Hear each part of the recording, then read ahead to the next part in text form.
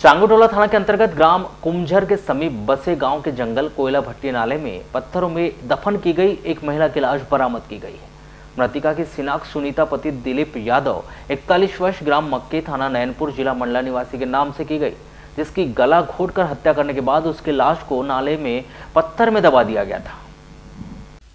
महिला की लाश पंद्रह दिन पहले की बताई जा रही है, जो काफ़ी खराब हो चुकी थी। प्रेम प्रसंग के चलते सुनीता यादव की हत्या उसी के प्रेमी ने की थी। चांगोटोला पुलिस ने इस मामले में इस महिला के प्रेमी बलराम पिता बीशराम भावरे 45 वर्ष, ग्राम मक्के थाना नैनपुर निवासी को हिरासत में लेकर पूछताछ शुरू कर दी है। प्राप्त जानकारी के अनुसार मंडला ज़िले के ग्राम मक्के निवासी यह महिला सुनीता यादव के दो बेटे हैं जो अपनी माँ से अलग रहते हैं और सुनीता को उसका पति 12 वर्ष पहले ही छोड़ चुका।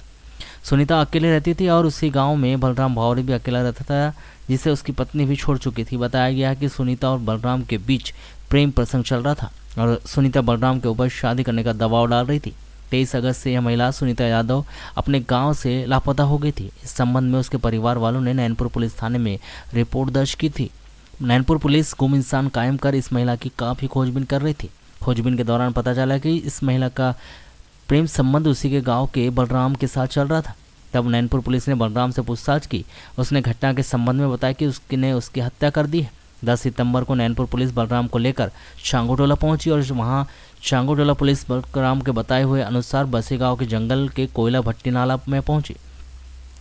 नाले में सुनीता की लाश एक बड़े पत्थर के नीचे दबी हुई थी, जिसे तोड़ने का प्रयास किया गया। पत्थर नहीं टूटा, तब जेसीबी मशीन से उस पत्थर को हटाया गया, जहाँ पर महिला सुनीता की लाश पाई गई। यहाँ लाश सुनीता यादव की थी। बताया गया कि जब सुनीता बलराम यादव पर शादी करने का दबाव बना रही थी, तब बलराम यादव ने सुनीता को अपने रास्ते से हटाने का प्लान बनाया और वहाँ घटना के पहले चांगोटोला थाना के अंतर्गत बसेगांव का जंगल कोयला भट्टी नाले का पहुँचा और घटनास्थल को देखने के बाद 23 अगस्त को बलराम सुनीता को लेकर कोयला भट्टी का नाला पहुँचा और वहाँ उसने सुनीता की गला घोटकर हत्या कर दी और उसकी लाश पर बड़ा सा पत्थर रख दिया गया। सुनीता की लाश करीब पाँच क्विंटल पत्थर के नीचे दबी हुई थी। चांगोटोला पुलिस ने इस पत्थर को हटाने का काफ़ी प्रयास किया और तुड़वाने का प्रयास किया, किंतु वह पत्थर नहीं हट पाया। तब जाकर चांगोटोला पुलिस को इस पत्थर को हटाने के लिए जेसीबी मशीन बुलानी पड़ी। जेसीबी मशीन से पत्थर को हटाया गया। सुनीता की लाश काफ़ी खराब हो चुकी थी। चांगोटोला पुलिस ने डॉक्टर को बुलाकर सुनीता यादव की लाश का पोस्टमार्टम घटनास्थल पर ही करवाया और लाश उसके परिजनों को सौंप दी चांगोटोला पुलिस ने घटनास्थल अपने क्षेत्र का होने से यह पूरा मामला अपने हाथ में लिया है और बलराम भावरे से हिरासत में लेकर पूछताछ शुरू की है।